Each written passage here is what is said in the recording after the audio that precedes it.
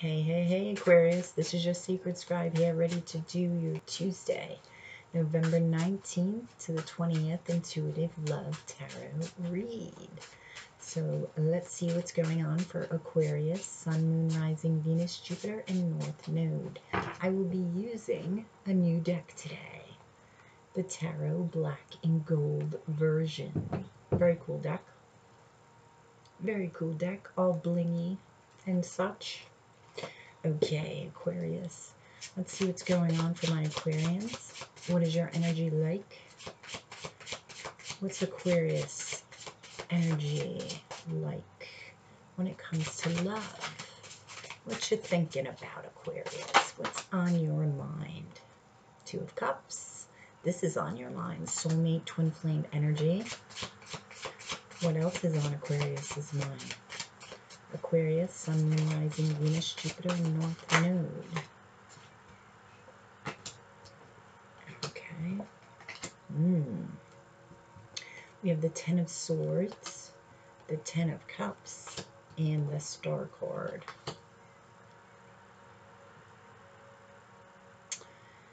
Did this come up recently for you? There's this wish that you have, Aquarius and it's regarding this soulmate and twin flame connection.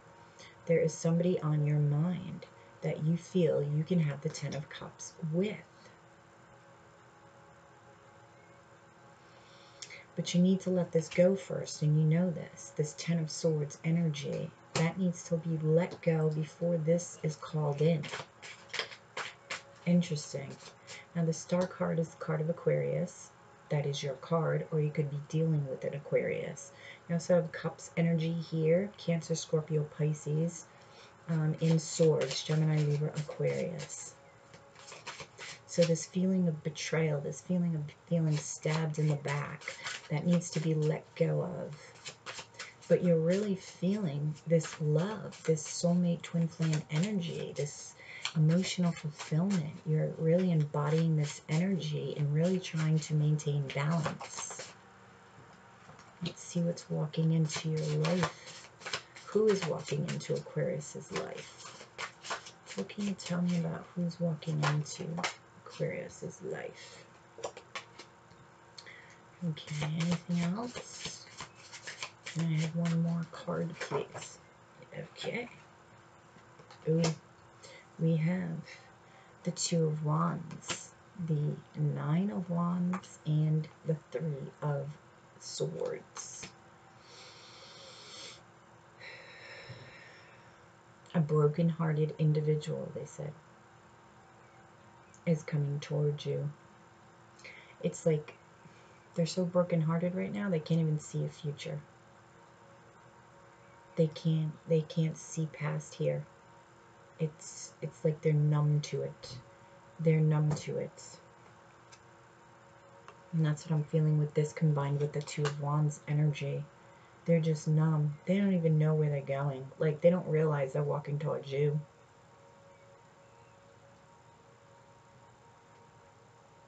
And I'm feeling that you're going to notice them before...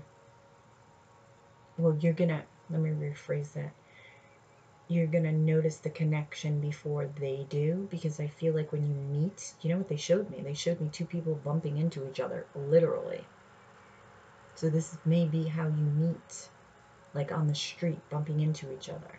I feel it's like while shopping, someplace outside. And it is the winter time, it's cold outside. It could be during this holiday season. So let's see how how does Aquarius respond to this meeting? Hmm. You see it as an opportunity, the Ace of Pentacles here. You see this as a gift. You see this as a, as a chance for a new beginning. Eight of Cups. But you know there are things that you need to walk away from. Like this Ten of Swords. You know there are things you need to walk away from there are feelings, there are some, even some people I'm feeling that you need to walk away from before you can have this. Before you can have this. Because it's like these Ten of Swords, I almost feel like some of them are people. One more card as to how Aquarius is responding. One more card. How is Aquarius going to respond to this person? How is Aquarius going to respond to this person? And you'll feel this person's hurt. They just said, you'll feel their broken heart. You will. Yeah, Five of Wands. And I'm feeling this connected to this Eight of Cups. I feel like it's going to be a struggle for you to walk away from the people uh, that you need to walk away from. There may be five, actually. I told you I was feeling this in the Ten of Swords. For some of you, I'm feeling a couple of different scenarios. Like the scenario that they showed me in my head where um, two of you bump into each other, literally, right? It's somebody that you don't know. Another scenario is somebody that you do know because this is somebody that you had on your mind. So for some of you, it is somebody that you do know. For all of you, it is walking away from people, places, and things that no longer serve you. Okay? That's for everybody. So how does this change your energy? How does this change your energy? Whoops.